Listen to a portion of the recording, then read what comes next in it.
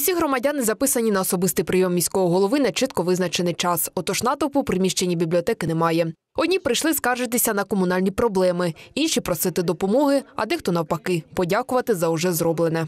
Я прийшла, щоб попросити мені, щоб дров хоч привезли. На, бо нема чим на розтопку. Многие годы по улице Геологической э, невозможно было ни пройти, ни проехать, и не было освещения. Обратились люди с просьбой о том, чтобы постелить там асфальт и сделать освещение.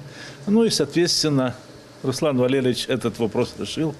Вот, и я хотел сейчас вот э, в данный момент э, поблагодарить его от э, жильцов Однією з перших до очільника міста прийшла жителька вулиці Привольної, колишньої совхозної. Пенсіонерка просила відремонтувати дорогу поблизу свого будинку.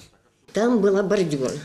Эта бордюра, в общем, ее, как говорится, уничтожили. Ну, машины ездят. Разбили, там- да? Да, разбили. Это вот.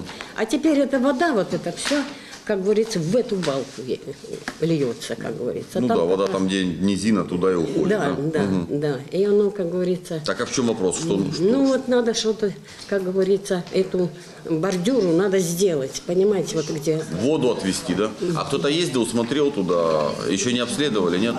Обследовали? И что там? Надо поставить, ну, как типа лежачего полицейского, только немножко повыше. Но женщина обратилась уже поздно, поэтому мы заявку перенесли, как будут работать у нас бригады по асфальту.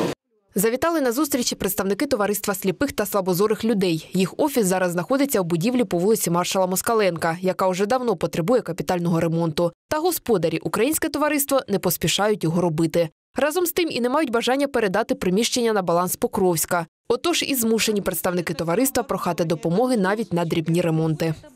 Мы подавали заявку по поводу ремонта библиотеки, и там нам ставили окна, надо откосы сделать. Давайте так, собираем комиссию.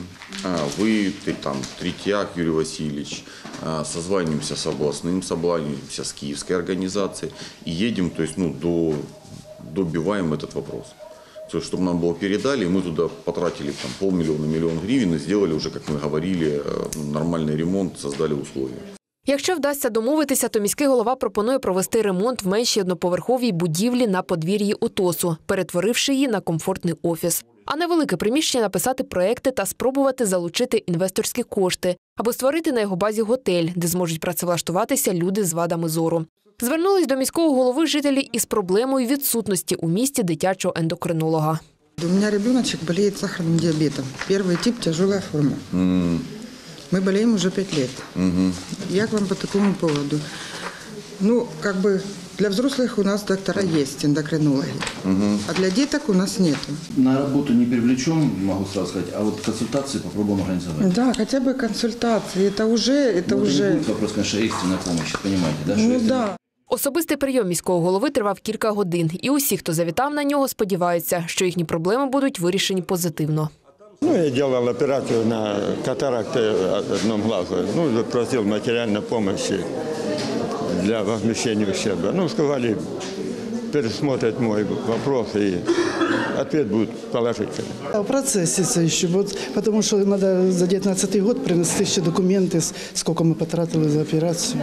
Ну, от зарядку мені сказали, щоб займалася зарядкою, тому що в мене позвоночники поломані, і цементували, треба тепер, щоб не скар... проходити реабілітацію. Да, реабілітацію. І вас познайомили з людиною? Да, да, да. Должна мені підказати. Особистий прийом Руслан Требушкін проводитиме і завтра.